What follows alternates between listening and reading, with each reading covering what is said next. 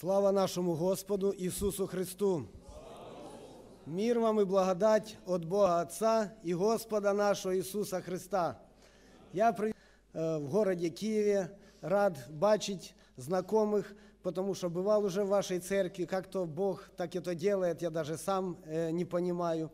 Но уже несколько раз я был у вас в служении. Слава нашему Господу!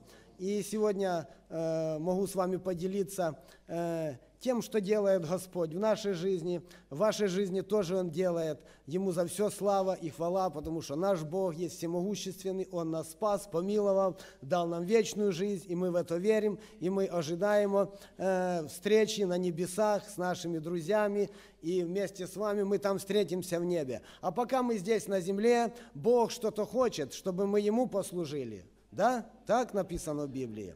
Когда мне было 19 лет, э, я стоял на призывной комиссии в военкомате, и там сидели военные люди, они смотрели мое дело, и э, когда они посмотрели мое дело, они сказали, такие люди родине не нужны.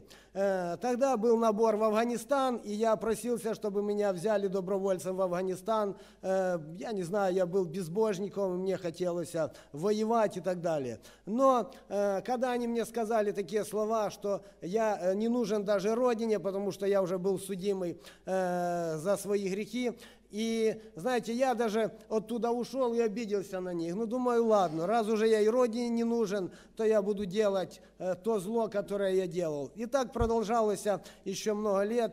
И через 10 лет Бог, Иисус Христос, призвал меня служить в Его армии, в небесной армии. Слава Господу! Знаете, люди полностью, я стал не нужен людям, но Бог э, имел, э, э, Бог смотрел на меня, и прошло с тех пор 10 лет, Бог призвал меня служить Его армии. Слава Иисусу Христу! И знаете, я, не раздумывая, согласился. Я сразу сказал, Иисус, я согласен, потому что я понял, что армия Иисуса Христа – это самая победоносная, самая сильная и самая могущественная армия во Вселенной. Слава Господу!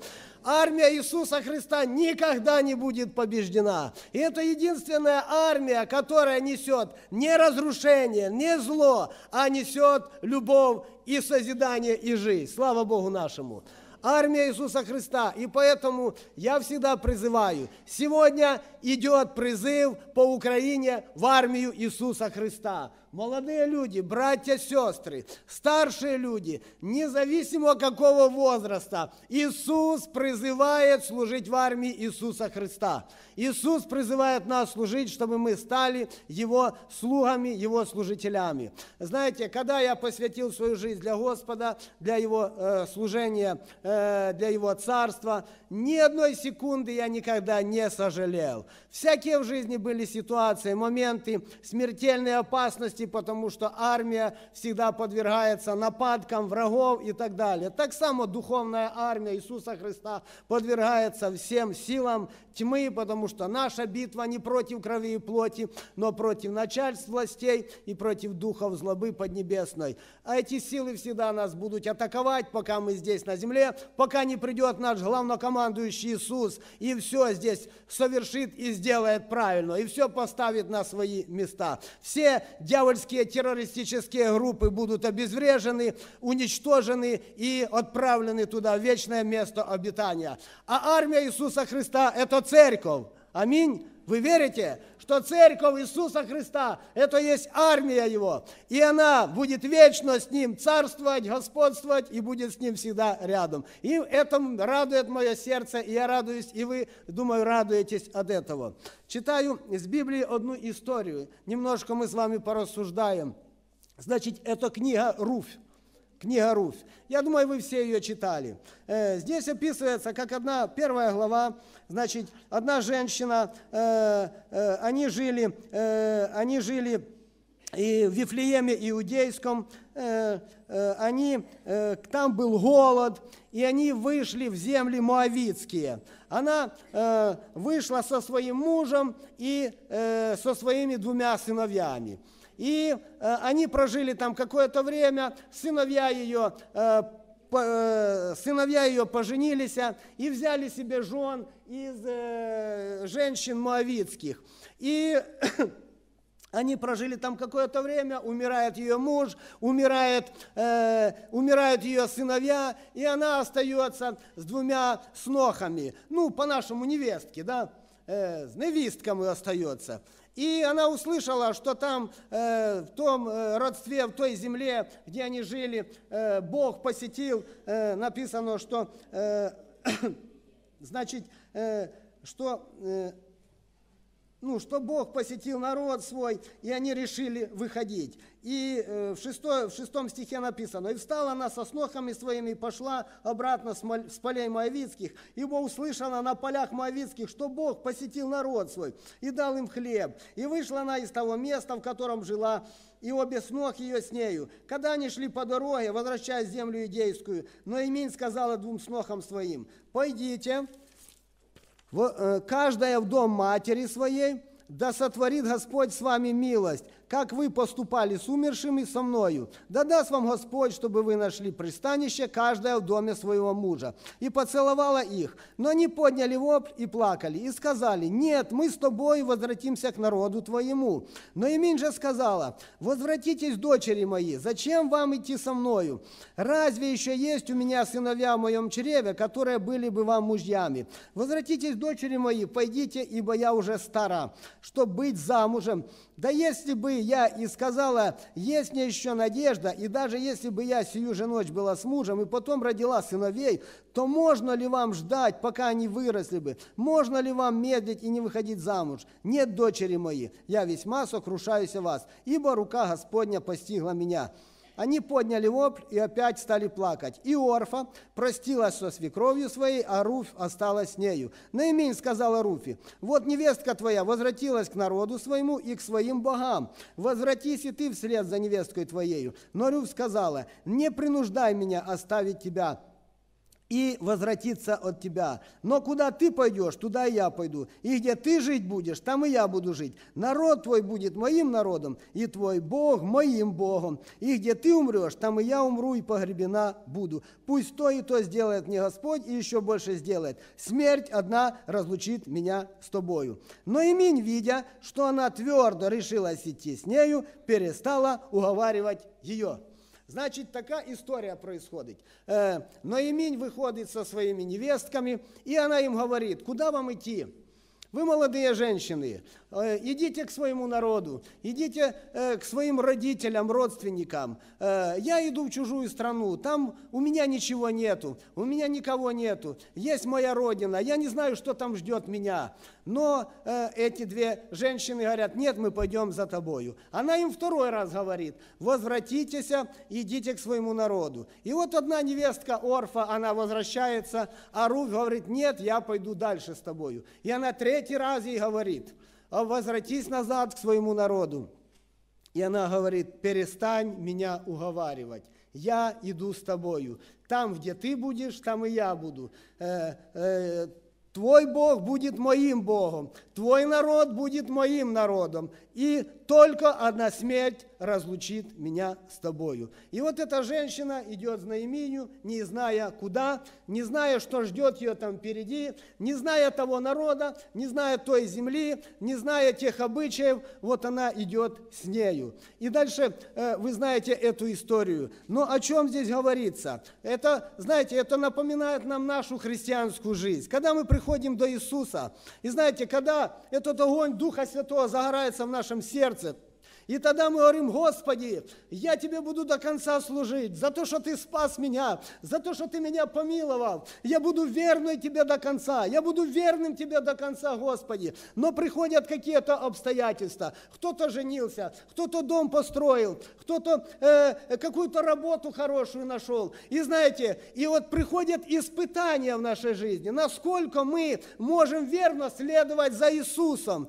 И кто-то останавливается, говорит, ну я уже спасенный человек, я уже член церкви, я хожу в церковь, я немножко помогаю церкви там э, и так далее. И человек останавливается и занимается своими делами. Э, кто-то э, женился, говорит, ну я уже, уже у меня семья, у меня уже дети, для Господа уже мало времени, э, не остается времени для Бога служить. Кто-то говорит, я уже постарел, я тоже это переживал. Мне братья часто говорят, Саша, тебе уже 53 года, может быть, уже надо остановиться, может быть, уже семья у тебя, дети, чего ты это там шатаешься по этим вокзалам, по электричкам, теперь это еще в Европу туда едешь, чего ты, уже же у тебя возраст, знаете, и всякие мысли приходят, а может и правда, надо уже э, приземлиться, надо уже больше заниматься э, э, домашними делами и так далее, может быть, там церковью заниматься больше, э, это тоже нужно, для этого есть, но... Э, эта женщина, Руфь, она говорит на имени, я иду за тобою. Куда ты идешь, туда я иду. Где ты будешь, там я буду. Только смерть одна разлучит нас с тобою. Для того, чтобы служить Господу, э, нужно посвящение. Не просто нужно быть христианином, но нужно быть посвященным человеком. Мое посвящение произошло на вокзальной площади – когда я встретил слепого евангелиста. И вот там я полностью посвятил и сказал Иисус, с этого момента я посвящаю себя для служения Тебе. Куда ты пойдешь, туда я пойду. Куда ты мне прикажешь идти, я буду идти. Что ты мне скажешь делать, я буду делать. С тех пор началось мое служение для Господа. Э, и эта э, женщина Руфь, она сказала, только смерть одна разлучит нас с тобою. Кто может нас разлучить на этой земле? Э, какие страхи, какие человеческие убеждения или непонимания, знаете, могут нас разлучить? Человек, который посвятил себя для Господа, он будет идти и, идти и служить Господу. Э, значит, испытание приходит для нас, чтобы остаться и жить для себя. Э, нормальной христианской жизнью. Жить, но жить для себя. Христианской жизнью ходить в церковь, это не значит, я не говорю о тех людях, которые отошли от церкви, вошли в грех.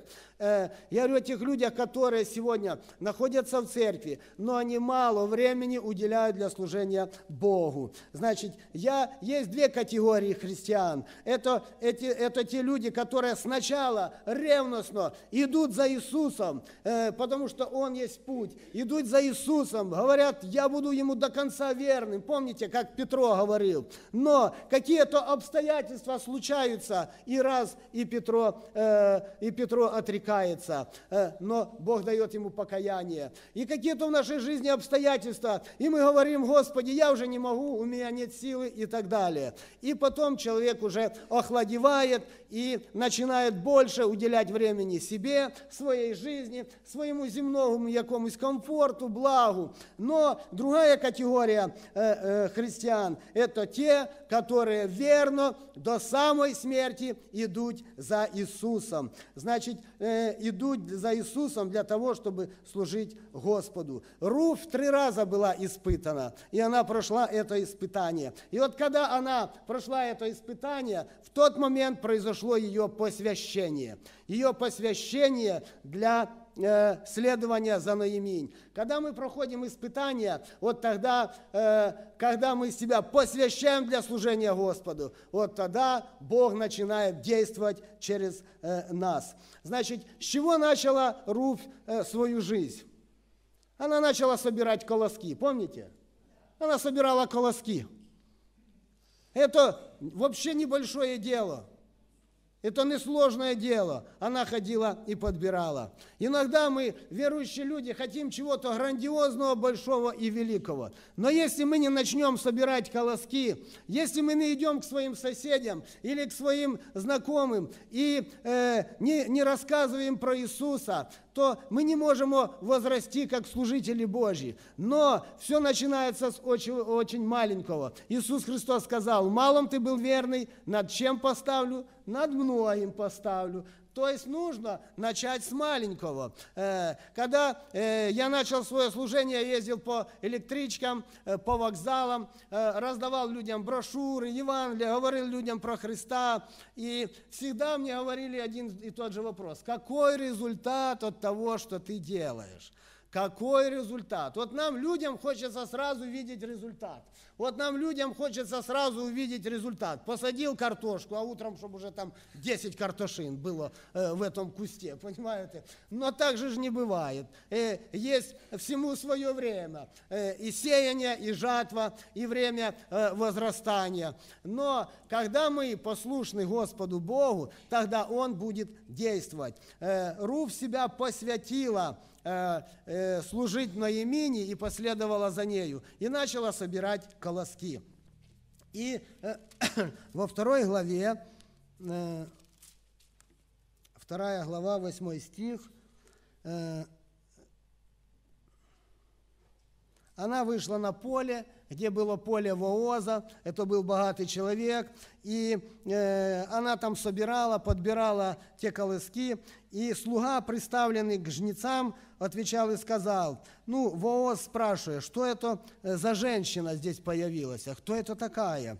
Э, и слуга говорит, это молодая женщина, моавитянка, пришедшая с наименью с полей моавитских. Она сказала, пойду я подбирать и собирать между стопами э, позади жнецов. И пришла и находится здесь с самого утра до селя. Мало бывает она дома. Обратите внимание, характеристика Руфи. Она была какая? Трудолюбивая. Она любила трудиться. Мало бывала дома, из раннего утра собирала эти колоски, чтобы пропитать себя и, э, свою, э, и Наиминь.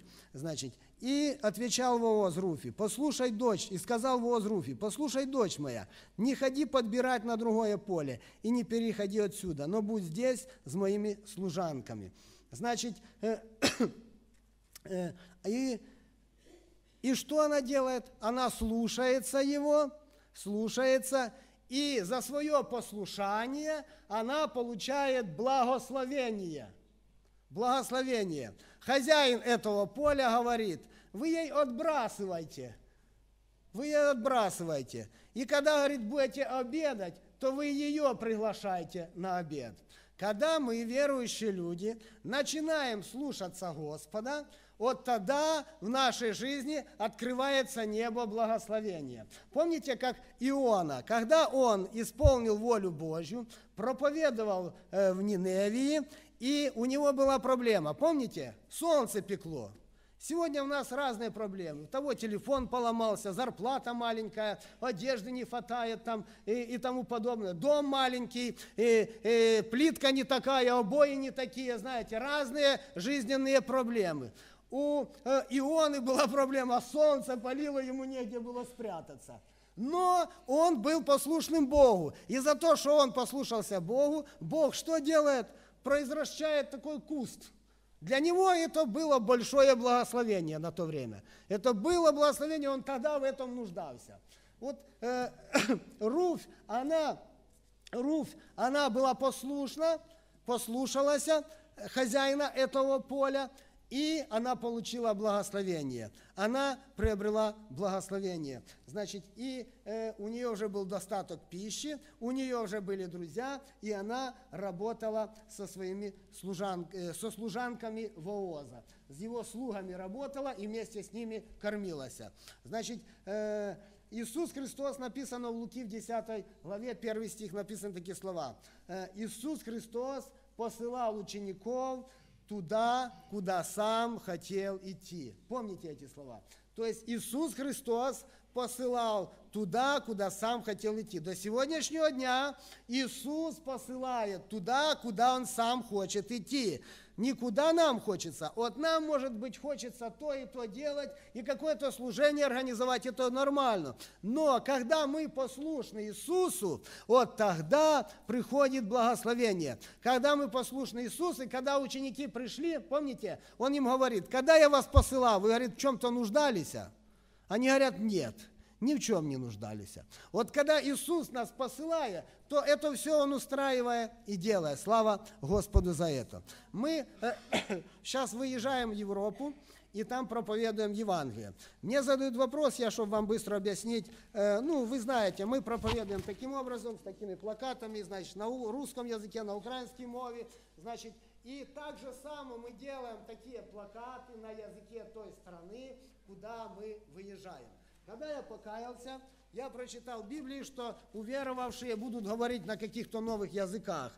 Я думаю, э, значит, Бог сверхъестественно должен давать, э, чтобы люди говорили на языках мира. Я сказал, Господи, дай мне, чтобы я мог говорить на всех языках мира сколько их там, две тысячи, чтобы я мог всем людям, китайцам на китайском, там, э, э, корейцам на корейском, там, э, этим, на английском, на французском, знаете. Но Бог не дал мне такого.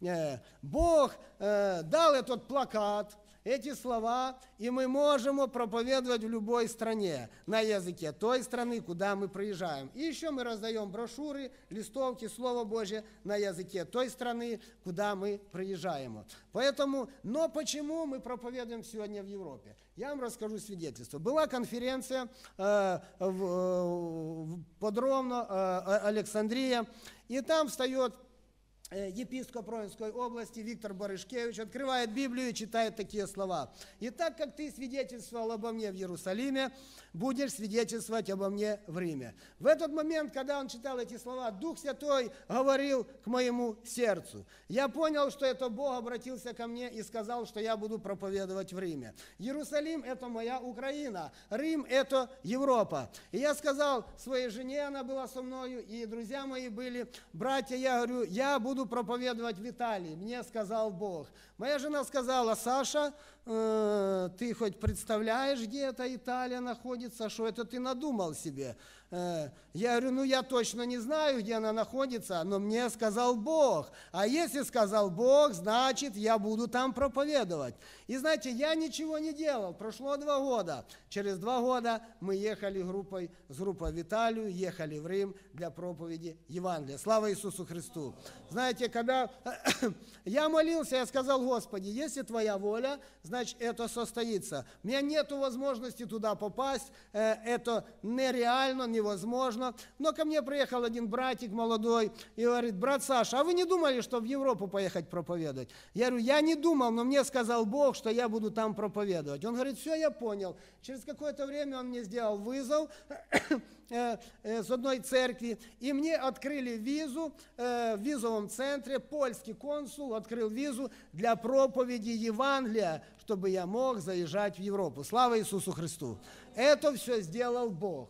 Поэтому Таким образом, сегодня мы проповедуем там, в Европе. Но, естественно, проповедуем всюду. В Украине, всюду, где есть возможность и так далее. И э, Значит, когда мы э, в Риме, э, мы вышли на базар на следующий день, там тоже такой базар, и мы там встретили одну женщину с Запорожья. Э, и мы рассказали про Иисуса Христа и провели ее на, на служение. Вот так было воскресное служение, но мы с утра на базар вышли. И Дух Святой ее сильно коснулся. Она сидит, рыдает, рыдает в зале. Э, приняла Иисуса Христа, говорит, я даже не представляла, говорит, что э, есть такие люди, такие церкви. Ну, и она там осталась в церкви, слава Богу. Я говорю, это же надо было приехать э, с Украины в, этот Рим, чтобы там найти эту женщину, Олю, привести ее в собрание, и она приняла Иисуса Христа. Но это так Бог делает, слава Господу. Когда, знаете, когда мы начинаем служить Богу, э, всякие будут трудности и препятствия. Не думайте, что вас сразу будут хвалить, не думайте, что вас будут э, за это уважать и так далее. Потому что э, Иисус Христос сказал, что и меня гнали, и ненавидели, и так далее. Поэтому, э, но мы всегда идем с Господом Богом. Когда мы приехали в Македонию, э, и мы там нашли поместную церковь македонскую, э, то два служителя нам сказали, братья, с таким служением в Македонии категорически э, проповедовать нельзя. Вас сейчас арестуют, вас сейчас посадят в тюрьму и выселят из страны. Македония, столица Македонии разделена на половину. Э, ортодоксально-мусульманская половина и ортодоксальная православная. С нами был один брат. Он приехал в Украину, чтобы проповедовать в церквях с кафедры. И так Бог дал мне с ним встречу. Я говорю, Миша, говорю, э, у нас в Украине, говорю, проповедники за кафедру в очередь стоят месяцами, говорю. Поэтому тут тебе надо, тебя Бог прислал, чтобы ты с нами пошел по площадям, по базарам и по улицам. Ну, он согласился и поехал с нами. Он говорит, ну, он американец, хороший брат, он говорит, братья, ну, если нельзя, значит нельзя, не надо нам проблем и так далее. Я говорю, ну, братья, как хотите, я утром одеваю плакат э, на болгарском языке и выхожу на центральную площадь. Э, пока мы ехали до площади, мы ехали в автобусе, и я начал проповедовать в автобусе. Когда один мужчина говорит, да давай, говорит, рассказывай, мы все понимаем на русском. Я даже не знал, оказывается, македонцы все знают русский язык, слава Господу. И я им говорю проповедь в, в автобусе, и водитель говорит мне, за то, что вы приехали к нам с Украины говорить про Бога, будете в моем автобусе ездить бесплатно. Слава Иисусу Христу.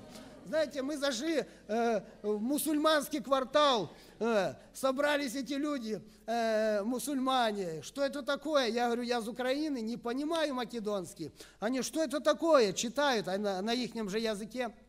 Э, э, я говорю, мы привезли вам Слово Божье, э, чтобы в, вашем, в вашей стране не было войны, чтобы дети были ваши счастливы, чтобы ваших детей не убывали, чтобы мир был в ваших домах. Говорю, это дает Иисус Христос. И поэтому мы пришли сюда к вам рассказать вам про того Бога, в которого мы веруем, который спасает, который любит, который милует, который управляет всей Вселенную. Знаете, мне сказали, спасибо, друг. Пусть вам Бог поможет. Слава Господу.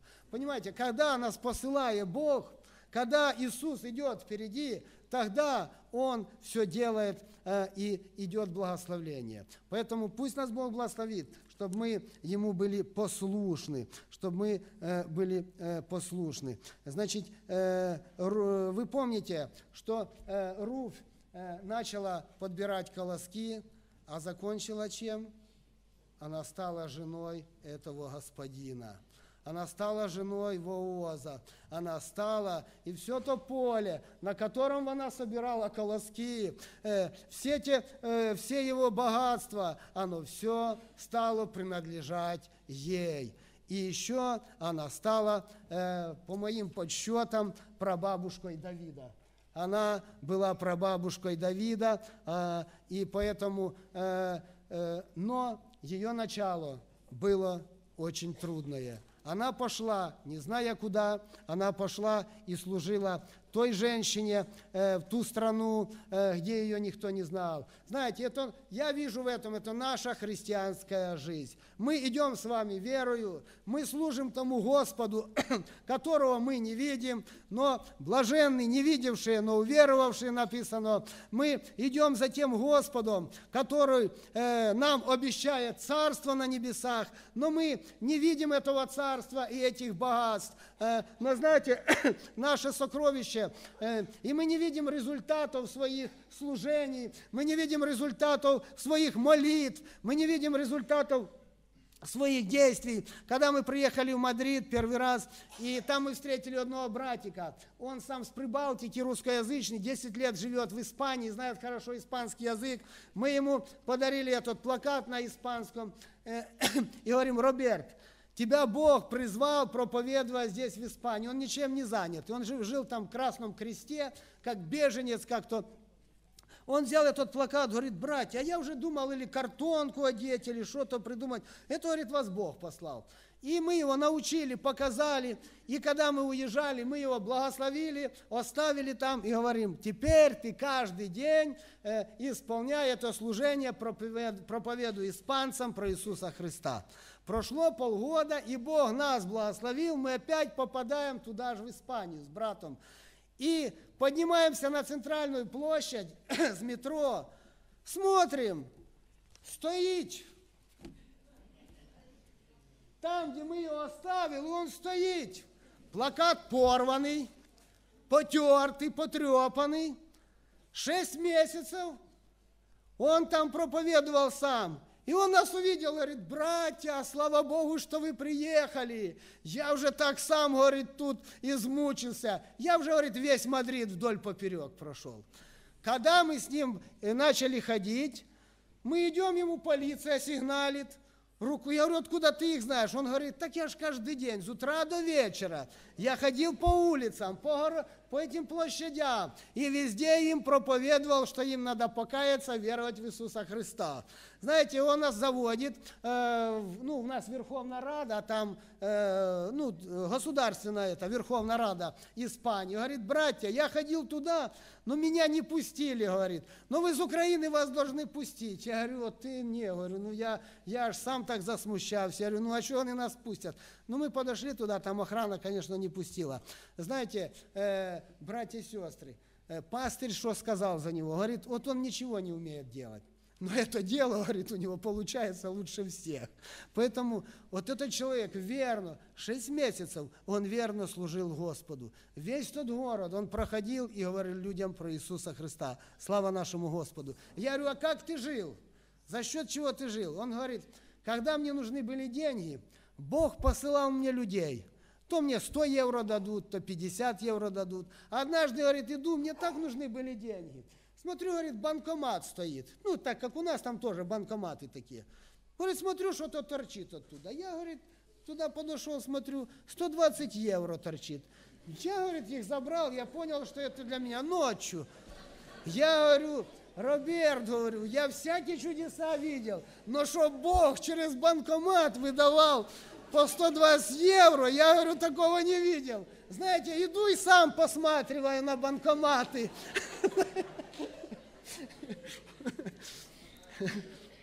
Слава нашему Господу! Если мы посвящаем себя для Бога, Бог верный, Он всегда даст обеспечение для нашей жизни.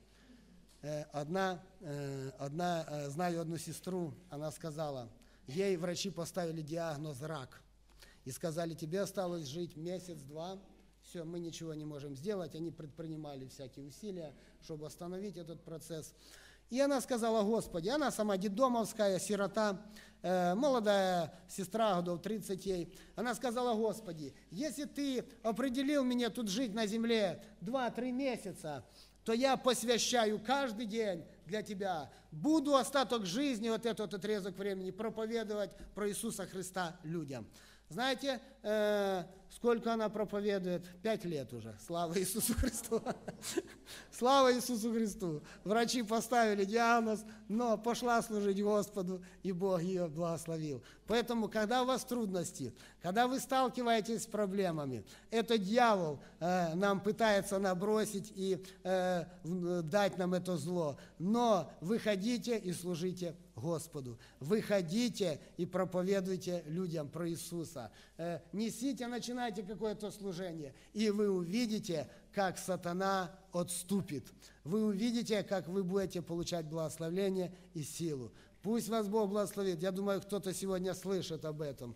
Для кого-то сегодня Бог говорит, не бойтесь, Бог всегда с нами. Э, Знаете, э, я рассказываю хорошие стороны, но есть разные ситуации. Несколько раз меня и убить хотели, и диагнозы ставили врачи, смертельные и так далее.